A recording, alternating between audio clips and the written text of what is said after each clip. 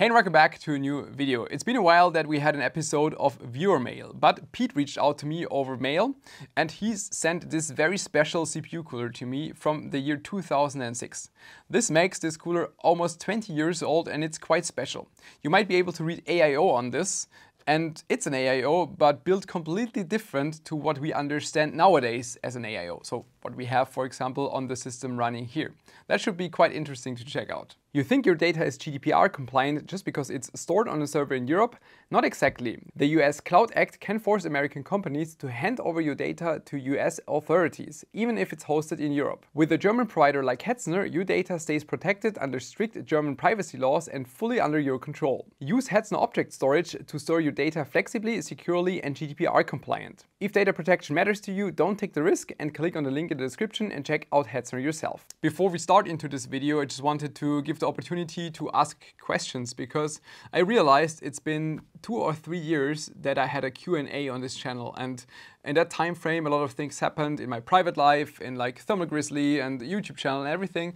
And I often read questions here and there about these kind of things, but I never really picked them up. Just, yeah, time flies. Uh, I just realized that when I checked out my previous or like last Q&A.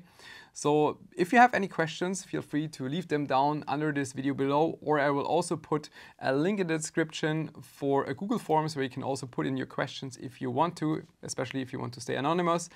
And I mean, you can also say that nobody's interested in Q&As and then we skip that. That's up to you.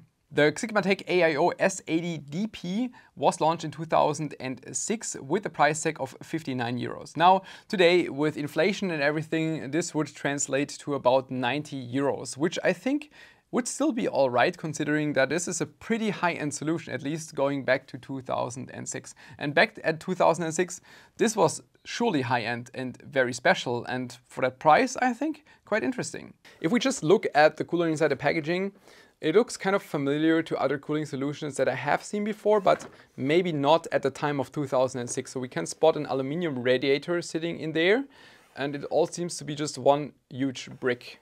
Not like, you know, traditional AIO where you have the pump head and some tubing and a radiator. This looks completely different. And if we take a look at the features, it's more small, more silent, more powerful.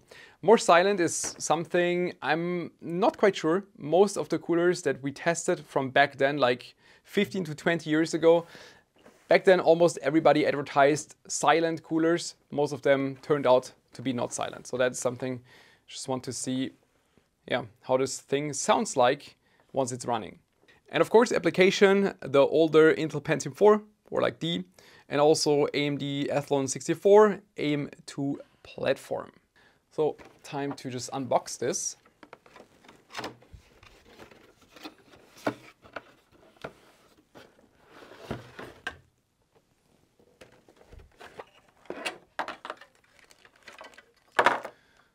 That's definitely one of the most unique CPU coolers I have seen, especially from that time. I was already active in the overclocking scene at that time and I can't remember seeing this one. So pretty special. No. That could be interesting. Not sure if some corrosion happened here. At least you can see some, I don't know, it looks almost like some of the fluid leaked. I'm not sure if it's already damaged before we even start testing anything. At least the protective film is still in place. But looks already this will be interesting. A couple hours later and I already modified the piece of plastic. I just took a recent AM5 AIO frame, placed it on top here, marked some of the holes, drilled pilot holes. I drilled bigger ones, so four mounting holes for AM5. And from what I can see, it will go onto the motherboard like this. You screw it down over the four holes and then the cooler will be attached through the other threads. I'm not quite sure yet if there's anything additional I have to modify, but yeah, we will find out. Before we attempt to mount this one, we first want to take comparison data. So we have the 9800X3D running at 5.15 gigahertz fixed clock. It's the same system we've been using in the previous videos. So fixed voltage and everything, it should consume about 140 watts. And it will also be interesting, but I think like this size radiator should be able to dissipate 140 watts. We will see. And the system is running with uh, Corsair 360 AIO, which I would say is what we would call a standard these days. Like 360 AIO is probably the most common if you're asking anyone what he thinks an AIO is. I ran the system for 15 minutes first and then took the average of one minute, which is about 77.2 or 3 degrees Celsius on average on the course. And we see a package power draw of about 145 watts. I have mixed feelings about mounting the block right away. But the thing is, I'm not sure if you're able to hear it, but there is water inside. I can definitely hear water or air at least and it means that it just didn't all leak out. But with those marks, I'm not sure if something bad happened internally. At the same time, if it's almost 20 years old, I want to avoid taking it apart right away because, you know, gaskets, rubber parts, they, they just become brittle over the years and could fall apart directly when opening it, which could potentially just ruin what we're trying to do. So I think we'll just try to mount it first, see if, we can mount it, and then open it later. Let's see if this works with a frame, as I'm thinking. I first wanted to reuse the ones from the original AMD mounting bracket, but then I saw they are just too short. Took these ones from whatever radiator, could be Corsair. It's a UNC type screw, and they, on the other hand, could be way too long. That will be the question, but I also need some with a small head. Yeah, but that could also collide with the block. I will, I will see. The screws are still sticking out quite a bit. I think it's fine. I was worried for a second that I'm just screwing into the bench table, but that should be all right. By the way, bench table available again in the Thermal store if you want to check that out. And now I want to see if this works. Yeah. Feels all right. I think I will just put some paste on and see if there's contact.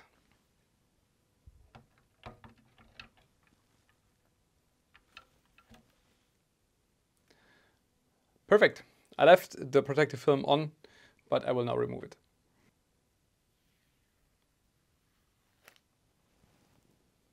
The block was originally meant to be mounted with these screws and springs, but I mean, it's not made for AM5. It sits, it sits a bit higher than usually, which is why I will mount this without the springs.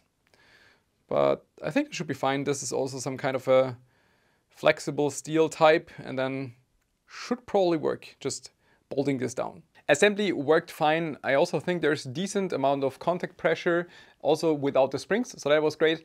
I now attached the fan to, so the fan is the 4-pin connector in the back to the bench table and the 3-pin connector is the pump.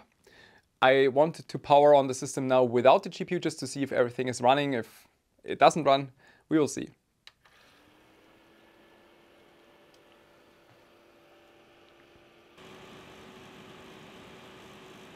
You can definitely hear both pump and fan. The fan more than the pump, unfortunately, but it's also quite some airflow. That might even be good cooling wise. This should be super interesting. Now I will add the GPU, uh, GPU and then we can boot into Windows. I can switch the fan speed down here and it's currently running 50%, which I think should work. Still quite decent airflow I can feel. And 100% fan speed would just be a lot louder. So I think I will just keep it at 50% for now and just test it. Idle temperatures look all right, and by this we can also know that definitely pump is working, nothing is blocked, otherwise temperatures would be much higher. We will just run Cinebench now, see what happens in terms of temperatures. CPU as set 5.15 fixed across all the cores. It's pulling 130 watts. Temperature looks looks great. This is much better than I expected just about 80 degrees Celsius. Considering how old this is, I'm mostly expecting to run into thermal issues quickly, but this seems not to be the case here. We're still about 10 degrees Celsius away from like thermal throttling. That is better than I expected. This also means we should be able to just try run Prime 95 and see what happens. Also score is in line. This is much better than I expected. Wow. In Prime 95 it looks different with also higher power draw of 150 watts quickly running into 95 degrees Celsius. So we are approaching the limit of the CPU. Still holding the clock for now, but I might have to switch to 100% fan speed.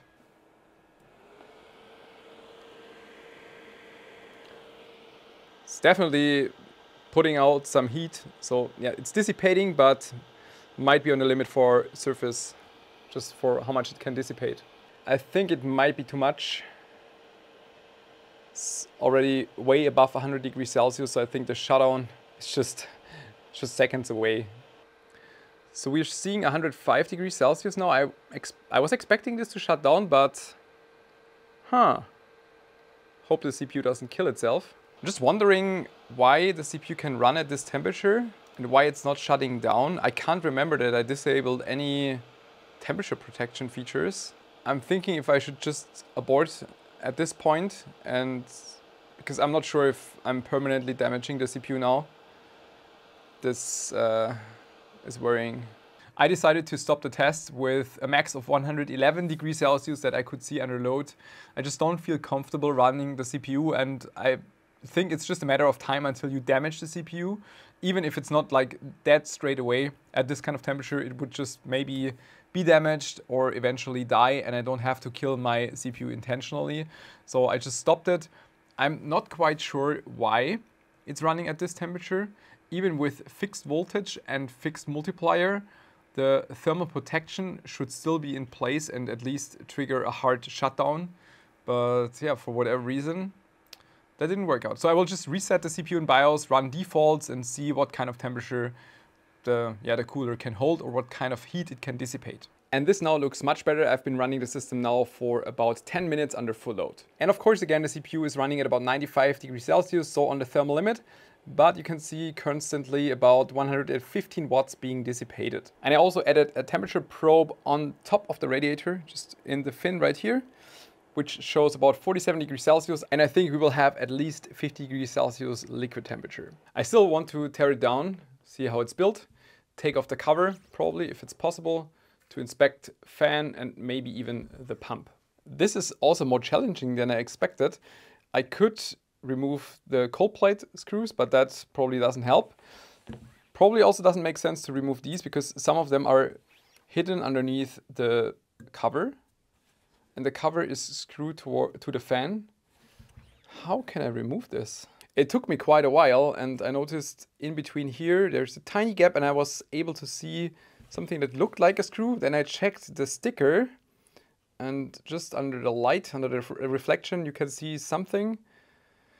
They probably hit the screws under the sticker. Now the thing is, it's not my cooler, right? And I don't want to damage this, but I also want to look inside. So I will try to just grab a heat gun and try to peel off the sticker without killing it. And maybe we can access the screws this way.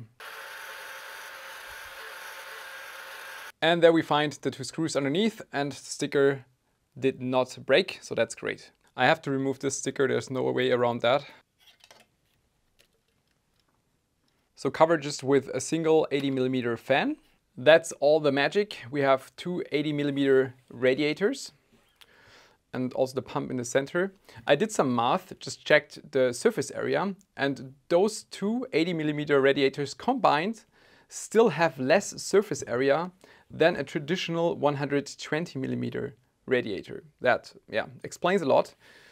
The cooler is just purely limited by the single 80 millimeter fan and dual 80 millimeter radiators. It's at least for back in the days for the time that was quite nice, but these days it's just simply not enough. But also explains the cooling performance and also yeah, kind of shows that the performance is not bad if you think of just a single 80 millimeter fan cooling everything. I still want to investigate the cold plate further, especially because of the weird stuff that we can see around the screw holes. My plan is to just put it on the table like this and hope that there's enough air inside that we will not have to drain any of the liquid, just take out uh, the cold plate and maybe investigate it. You can see some stuff also dried in there. On this screw I could see that there is a small gasket, a small o-ring or something. That is probably to seal off the head of the screw to the copper piece. And you can see on the left two screw holes, the black stuff on top, that is the same kind of O-ring. So I think the screw might be sitting in the liquid and they sealed it off this way and maybe some of the liquid just made its way through that. All screws removed. Now we'll just try with the screwdriver to lift this off.